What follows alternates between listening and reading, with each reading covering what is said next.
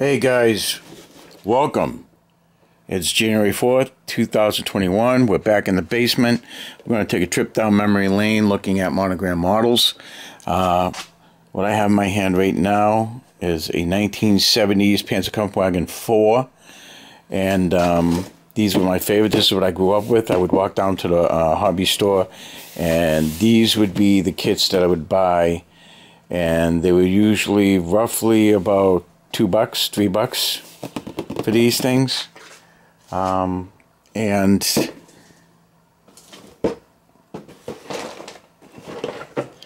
here's a Flak Panzer. And there's a whole series of these. And the original box looked like this. This was the original box. This is 1960s, believe in 1966, 1969. They were coming out with monogram models for the Armor series, and they came out with uh, the Panz, uh, the Flak Panzer. They came out with the Panzer Panzerkampfwagen, a Sturmpanzer, and I believe a Stug as well. Um, I have the. Let's see what we got. What we got? Armor series. This came in the boxes, and for the Armor, you had you had a Panzerkampfwagen four. You had the Patton tank. You had a Flak Panzer. You have a Sturmgeschütz I know I'm destroying that, but you had a Stug, you had a Lee, you had a Grant, you had a Sturmpanzer, and you had a Panzerjäger. A Panzerjäger 4. Huh. Uh, you also got the American series over here, you got the two and a half truck, the two and a half ton truck. You had the personal armored carrier. You had the Jeep with the 37 millimeter gun. You had the Weasel, the amphibious uh, vehicle you had the infantry, and you had the armored half-track anti-aircraft platform. So those are pretty cool. So these were my favorite. This is what I grew up with. I grew up with this style of box here. Um, in the 60s, I, I was just a kid. I was born in 1962. So um, these came out, I believe, 66, 69 and I wasn't ready for models then, and we were living in the projects, so my dad wouldn't wouldn't have done that anyways. Uh, I think my first toy soldiers was uh, Fort Apache, the um, the plastic soldier stuff, cowboys and Indians. Uh, but here's your original monogram Flak Panzer. This is your second series Flak Panzer, which is pretty cool. And then um, what we got going on here is um, this Flak Panzer here. Now the Flak, uh, this Panzerkampf, this Panzerkampfwagen would have the same kind of box as this right here. I don't have that one, um, but I do have this one, which was the next in line. This was an 80s, uh, the Panzer Attack Tank which is still the, the same Panzerkampfwagen 4. Um, I this I bought this on eBay for like 18 bucks, and uh, I've been putting it together, and that's that's her right now. She's looking pretty good. And what I ended up doing was, I bought this because I needed parts for this Flak Panzer here. Uh, this Flak Panzer was half built. There were parts missing to it. And I wanted to have two complete sets of this vehicle and this vehicle to go into my showcase upstairs. In order to do that, I had to buy this and these pieces here are actually the um, the bogies and everything from this box here. So I took most of the parts out of this Panzer tank and put it into the Flak Panzer and then took Flak Panzer bogies and hull and stuck it with this Panzer Tac and just built this tank. That's going to go in my showcase. This I'm going to build, paint up, and figure out what I'm going to do with it. but this was the 1980 release. So the 60s release would look like this. The 70s release looks like this. The 80s release looks like this. And then you have this right here. I believe is it is it the 90s or 2000? Which one is? Uh, let's see, 2014. So that's your monogram release of the Panzer IV tank in 2014. So that's pretty cool. I got that Stuart tank from Tamiya. I'm going to do the haunted tank from GI Combat. Then they had a, a, release here of the old box work artwork, and this was what 2017. When was this? When is this? 2017. Yep. Okay. So that was a release there of some old artwork. Oh, let me open it up because they got some pretty cool figures in here. This release has some pretty neat soldiers. I don't even, you can see them because of stupid bag. Can you see that? Maybe not. Ah! Yeah, you can barely see these guys. This bag. Oh, we'll see. All right. So what else we got? So then we have another 70s release of the Armored Car. And uh, is this a 90s or an 80s release? This is a 1982 release. This was copyrighted in 1970. This is a 70 release. All 132nd scale. Oh, is the Stuka with the swastika. This is a 1970 release. Yep, 1973. And Monogram did the only P40B. Um, P40. This is 1985 release right there, that one. So we got a 70s and an 80s. And well, it's okay. Now we got now we got these cool guys right here. Um, I got a bunch of soldiers in this box. Uh, this is the original box set for those right there. This is what I this is what I remember growing up with and buying.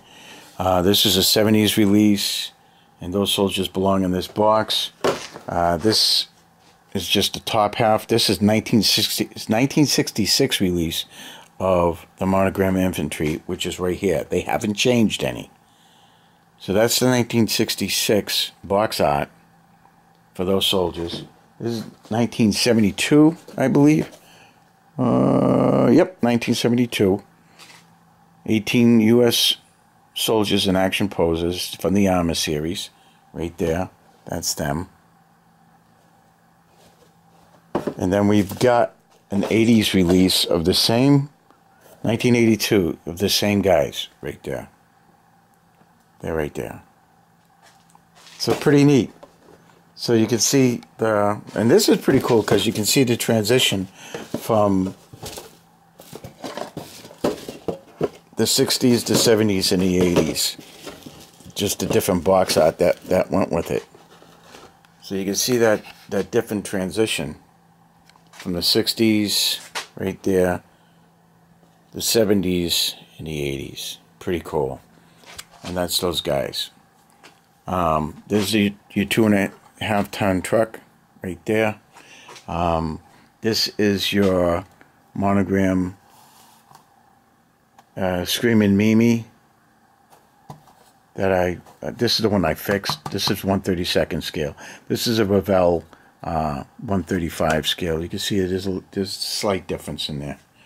Um, Monogram also came up with a snap tight of a German Tiger, which is great for um, bolt action. That's her right there. And this is, uh, I know it's a, ah, yeah, it's a Panzer Kampfwagen 4. I'm just trying to figure out what company made that, and I don't remember. But this is 148 scale. This is 148 scale, but it doesn't say it on this. It's just a snap tight German Tiger. Now, this is actually 1974 she came out. And there's, an, there's one in the box right there, and that's the other one right there that I know. So, it's actually not a bad model at all. I don't know if you can find them anymore. You could probably find it on eBay. Um, but that's pretty cool. So these guys go up here. And there's your there. There's your other snap type. There's the Patton. So there's the two tanks right there. Your snap tight kits.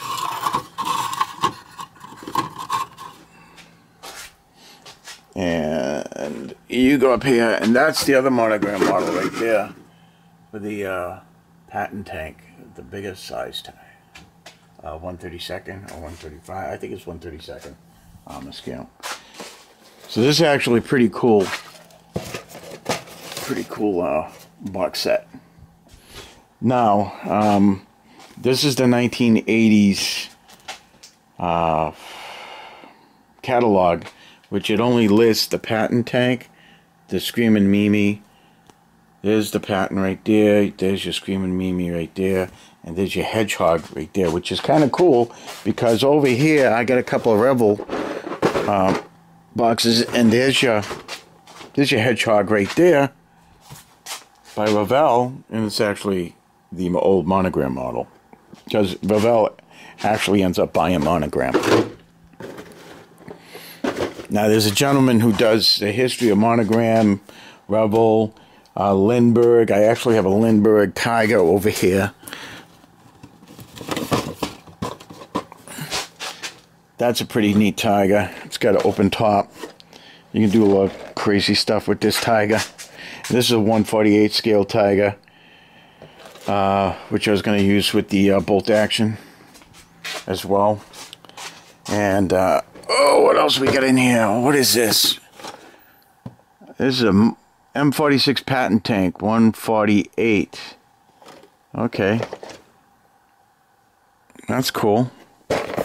Looks good. Yeah.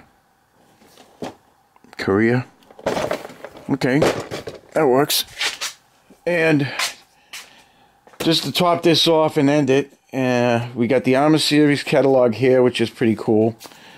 Um, and then we got this book right here. We got two books. We got uh, Remembering Revell Model Kits, and we've got Monogram Models. This is by Thomas Graham. It's a Schiffer book. Um, turn it over, get you the ISBN code right there. About 30 bucks. The old B17, old monogram B17, 148 scale is a fantastic. Oh my God, I love that plane. My buddy got me, uh, he gave me one that uh, was found in the garbage. Parts were missing and stuff. But man, I love that thing. That's it right there. But it's Revell. It's not monogram, it's Revell. But that used to be the monogram kit. And then Revell did a 172nd scale down here, which I have. So, this is actually a cool book. Uh, they do a lot of this stuff. You got price guides, got listings, serial, whatever they are, the code numbers for them.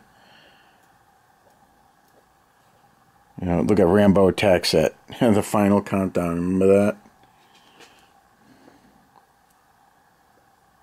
USS Independence. Oh, there's uh, there's. I've been looking for that set right there. Can't really find it. It's got a 148 scale Panther that I wanted to grab for bolt action. But with COVID 19, I don't think we're gonna be doing much wargaming. Um, get the Skyraider, uh, motorized Leopard. Then we got the Greyhound and the M20 armored car. Pretty cool, right there. Now this gives you the history. It gives you all. I mean, you got there's there's your uh, there's your B seventeen right there. Look at that. That's just awesome. There she is right there. Wow. Oh man. Wow. B 52 Vietnam War camouflage. Oh. B 52 emerged in 1970 cleansed of its Vietnam War camouflage. Huh. Okay. All right. So this book is pretty cool. I'd advise if you if you like the history, look at there's the Stuka, and then they took the uh, the swastika off the tail. Airacobra. Now look at the Flak Panzer and the Stumjitsu. Right? That sounded more Japanese than anything. Stumja shoots. Stumja shoots. Okay. Uh, practice that, I guess. All right. Uh, getting close to the end. Look, there's the old Patton tank with the original artwork and Puff the Magic Dragon. Oh man, I remember that set right there. The Huey Combat Team, the Cobras, and that was one of my favorite boats. Me and my buddies put those in a puddle and we ended up smashing them because we were punks. Yeah, pretty cool. So this is a neat book to pick up if you want to pick it up. This book is similar to the same, similar to this. Um, and that's about it, guys. So uh, I'll end it here, and then we'll we'll slide into the soldier aspect over there. All right, guys. Have a good one. You take care of yourselves. It's gonna be a crazy year. Look forward to it. Ciao.